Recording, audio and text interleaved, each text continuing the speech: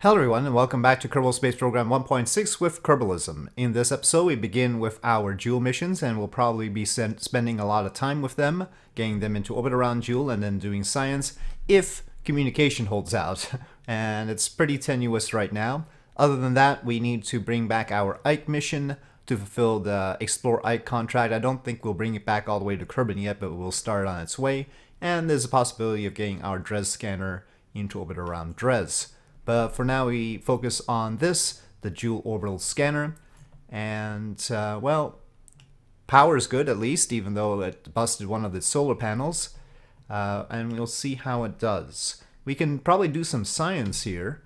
Uh, indeed, high over Jool, we haven't done this science. Pressure scan and radiation scan. So, science right away.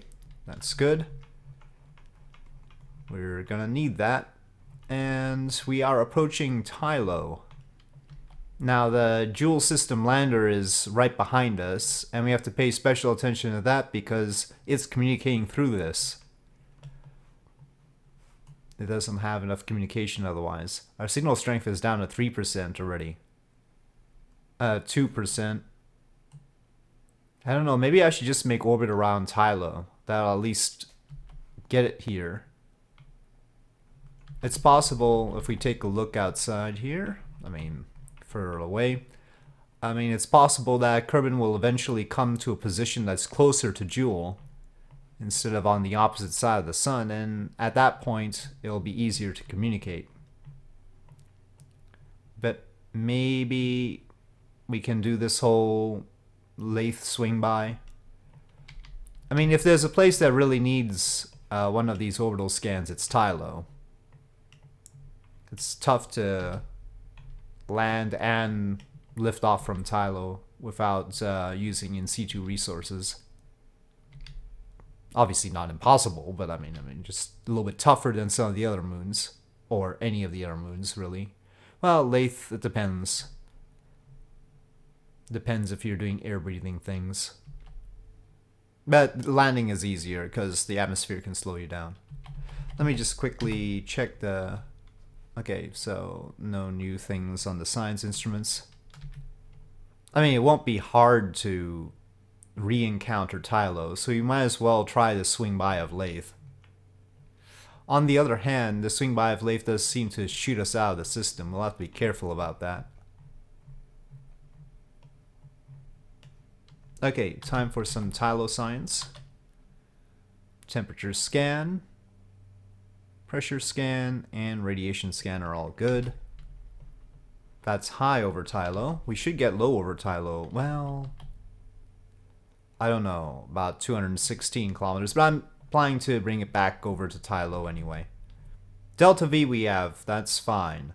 It's the communication that I'm worried about. Okay, but... Ah, this is near Tylo, good. Oh, we've lost communication. Oh, I hope it's just Tylo blocking the way. Oh, okay, yeah, it was. Whew. All right, uh, signal strength 2%. What is... Oh, uh, the Jool relay is communicating through us? It's supposed to be the other way around. Okay, but we have to pay attention to that Jool system lander. Let me add the alarm for the Laythe encounter and we'll pop on over to this. Now this is the most troubled mission. Power-wise, it's okay. Or was this the most... No, maybe this wasn't the most troubled mission. I take it back. No, this is fine. It just needs communication help. I don't know why. I mean, it showed a line... Okay, no, it's got the communication back. Alright, so we're encountering Tylo with this, and this definitely, well, actually it could probably land on Tylo. Uh, that's a little bit tough to say. Hmm, it might actually have enough delta V for that, but I think I would rather have it go off to Vall or something. Yeah. It could probably do more than one biome on Vall. Communication willing, of course.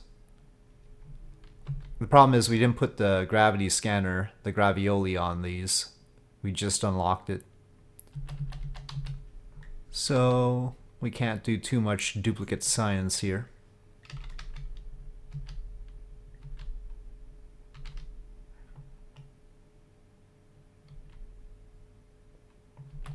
Okay, we're actually going to have to pay attention to the orbital sciencer again, so I'm going to add an alarm for the SOI change as it comes out of Tylo SOI. And uh, actually, I would like Tylo periapsis just in case.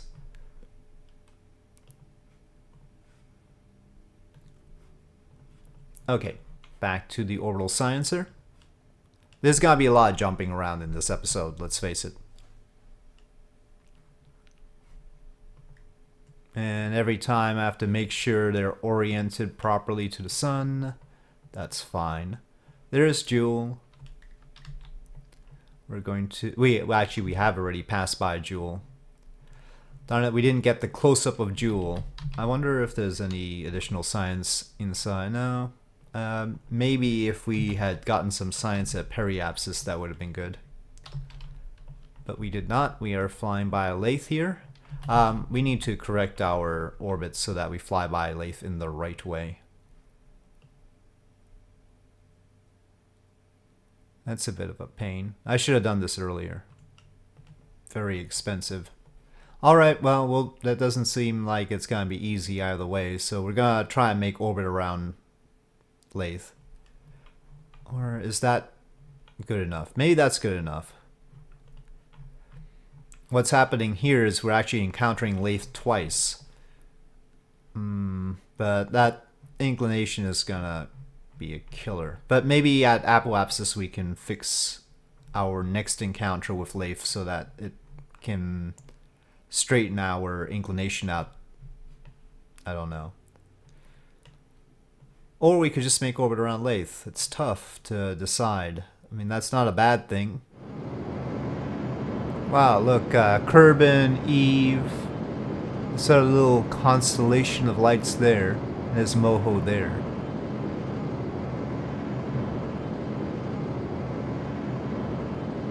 More lights than I would expect. There's, I don't know what's going on there. Why so many little dots? Maybe Minmus and the Moon and Gilly, but still, it looks more like the Pleiades than just two planets and their moons. Let's get some Laythe science while we can. So the standard high over Laythe science.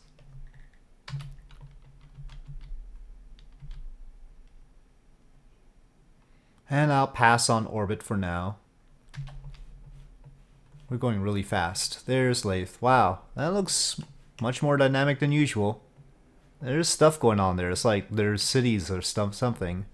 Or really glowing algae? I don't know. Anyway, we got near Laythe. So good science. Okay, we'll just wait until Apoapsis to actually plot it. So that's eight days. Quite a while. Jool system lander then. Okay, so Tylo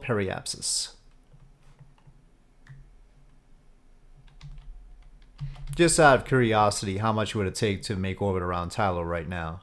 We, you know, uh, we're probably not going to even have communication. Uh, about a thousand. I mean, it, it certainly has the delta V to actually land on Tylo.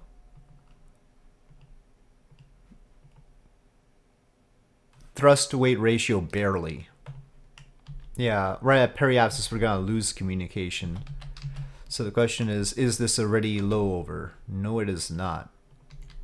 Oh, wait, there's alternate communication. Good, good. We're communicating through the oral sciencer at Laythe. And also through the Jool relay. So good times. Things are working out properly. Oh, we've already done near Tylo. So it doesn't matter. Um, should we make orbit around Tylo? No, you know what? Our our surface velocity is 3,108. No, I don't think we actually have enough delta V. I take it back. We'll we'll try something else, maybe Vall or something. That is way too. I, yeah, I don't think we're gonna be able to make that.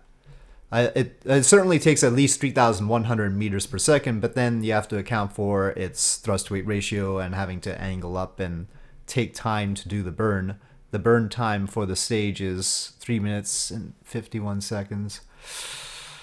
Uh, it's really close.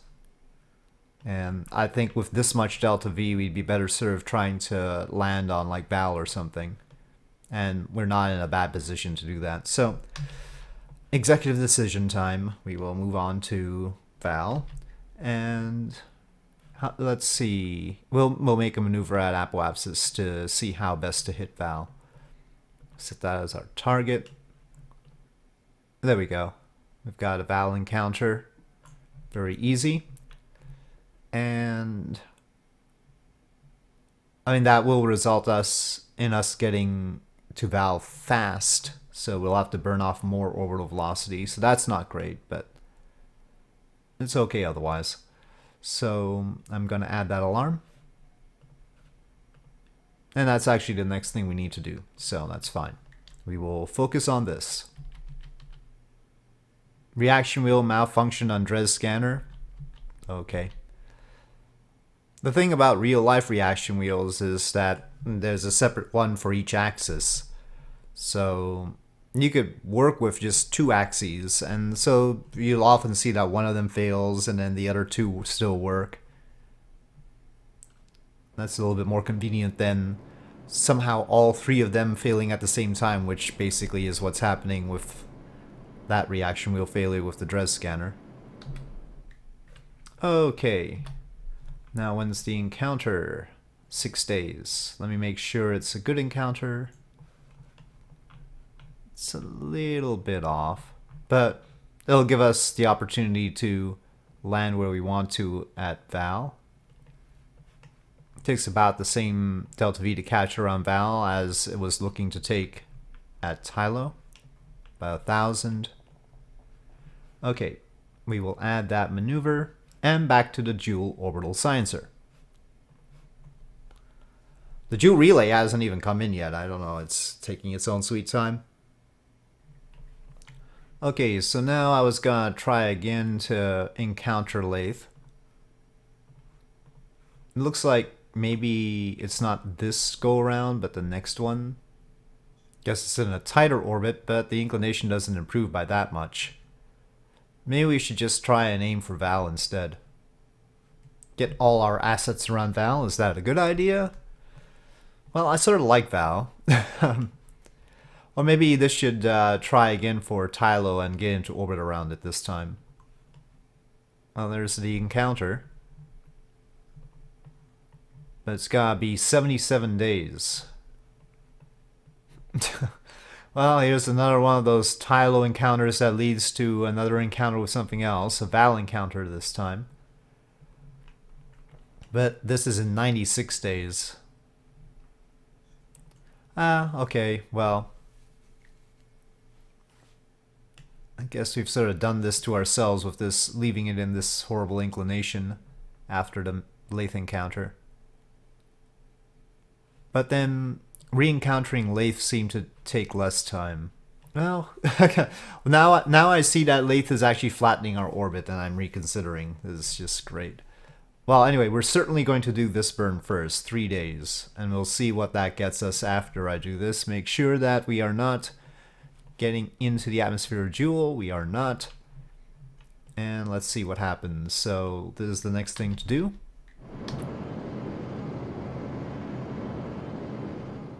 this is getting complicated. So we pass by Laythe, we pass by Laythe again, and then we're getting close to Tylo here. Well, I like this getting us into a closer orbit. That's much better.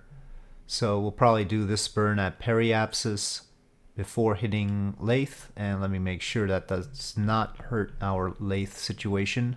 No, it just uh, shifts us over a little bit. Okay.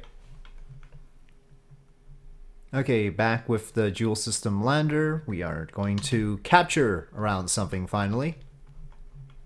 And this time it is Vall. So there'll be new science coming in from that. Still have to watch the communication lines though.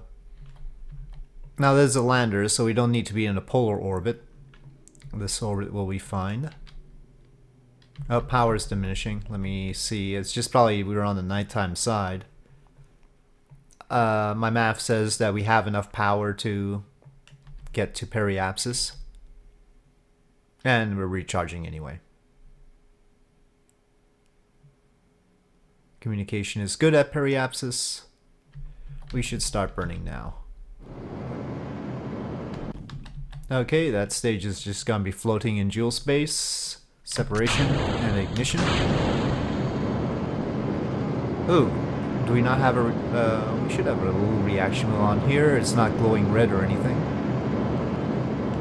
Oh, is one of the engines bad? One of the engines is bad. I'll shut down this one then.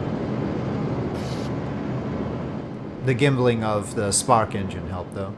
Uh, really, we don't need the ant engines on at the same time as the spark. I mean, they're not that bad on efficiency, but I think we can just go with the sparks. They were just a backup system. We needed a lot of backup engines though because this still wants to land. And of course six-way symmetry is sort of what this this is built around.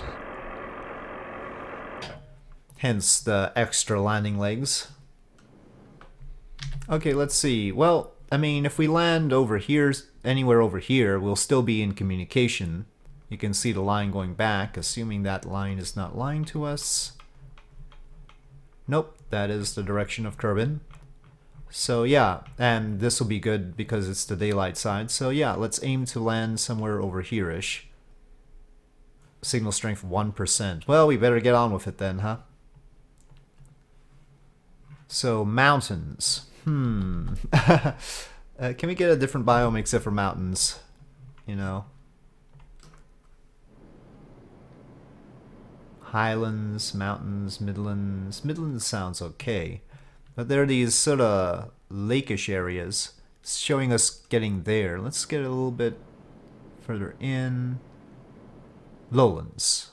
I'll take lowlands. We can hop on over to the mountains or whatever later if we need to, but we'll try for this stretch here. I think just for safety's sake, I'm going to retract the solar panels. Let's hope I remember to extend them again. Uh, the, the whole reaction wheel thing isn't as good right now as I'd normally like. Anyway, uh, up, up, up, stop bouncing. All right, that'll do. Okay, come on, Vall, you have gravity. Really? Whoa, whoa, whoa, whoa. All right, fine. As long as it counts us as landed. Okay, we got that. I don't know why we're sort of hanging out off to the side here. But maybe that'll make it easier. I think the direction we want to go is northeast if we want to hit another biome as easily as possible. So let's go... Yep, let's go that ways. But we're currently over Highlands, though I swear the stuff ahead of us looks more like Highlands than this does. This shot, this ought to be Midlands. Oh well.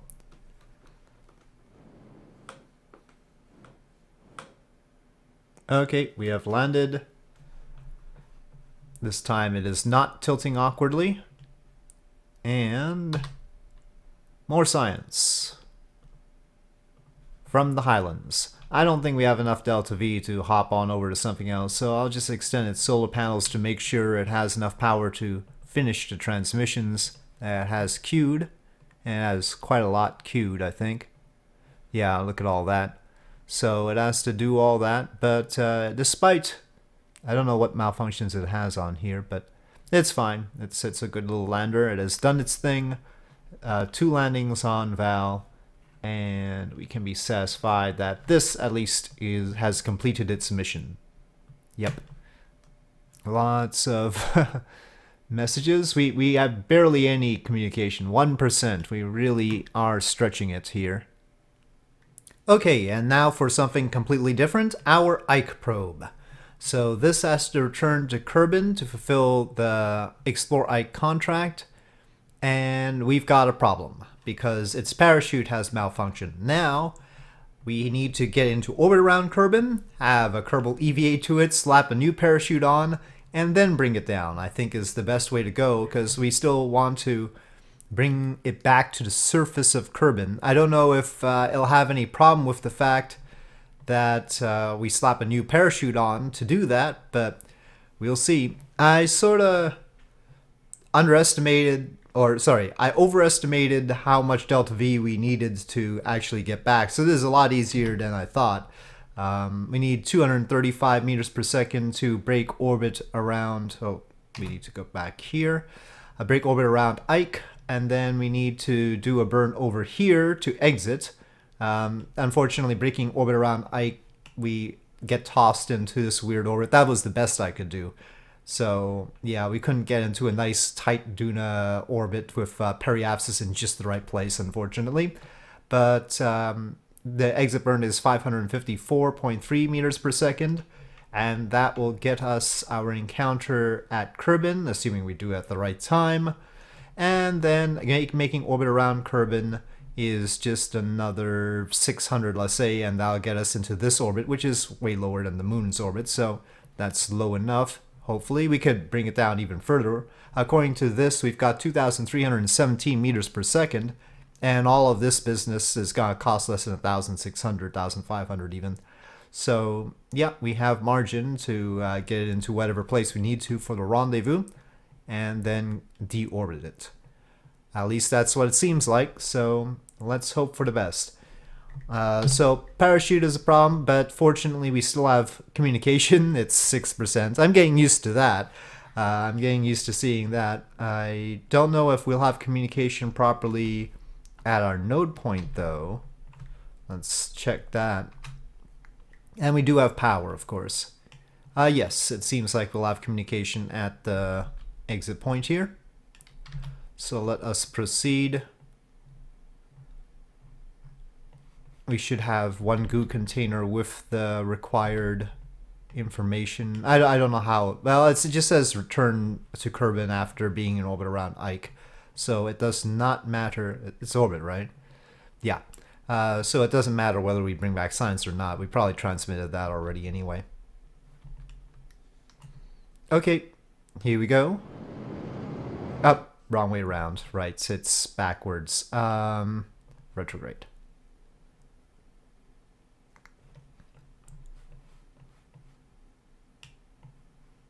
Wait, uh, probably this probe core is the right way around? Right way around?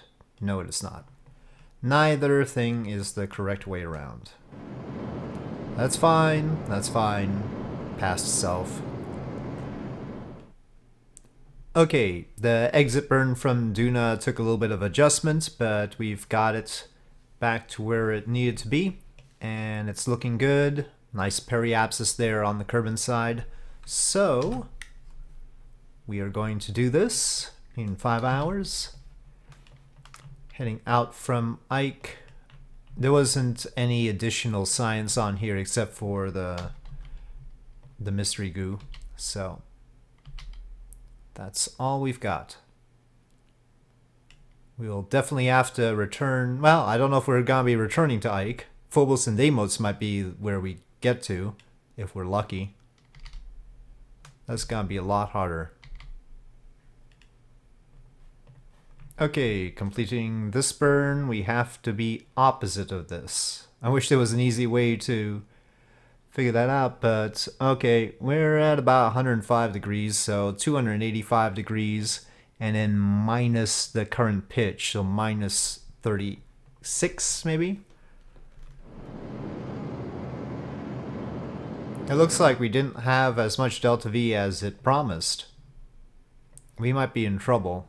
Yeah, whatever it was reading as far as how much delta V this has, it doesn't have that. And do we even have an encounter right now? Um, it was starting to go up on the delta V. Well, inclination sucks. This is actually the right time to fix that. Polar orbit.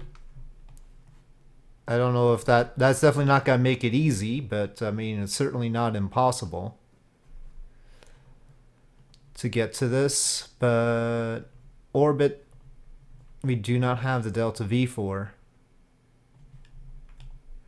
We could use the heat shield to like dip into the atmosphere and aero capture. That's an option. We'll decide that when we get there.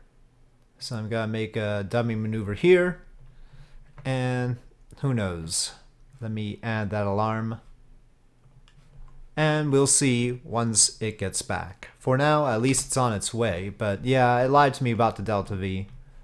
I don't know why exactly. Uh, there is a decoupler here. I guess it got confused, but there's no fuel up here. There's no stage up here. So I don't know why. Okay, anyway, it is what it is.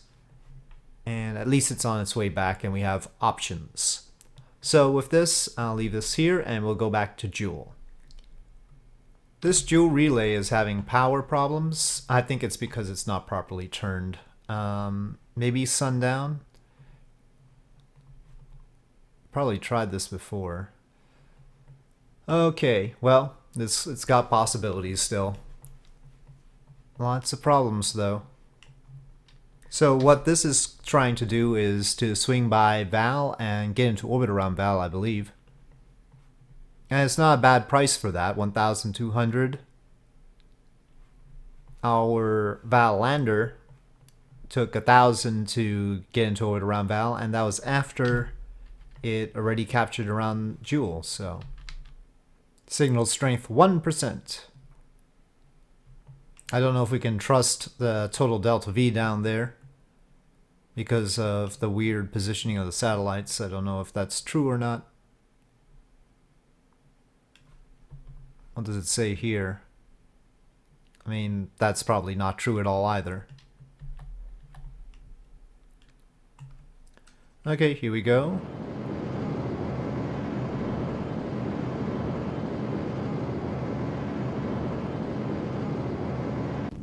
Okay, well, let's try this. That didn't work out right. Um, what has happened? Okay. Oh, this doesn't have communication anymore. Uh, independently, they don't have enough communication.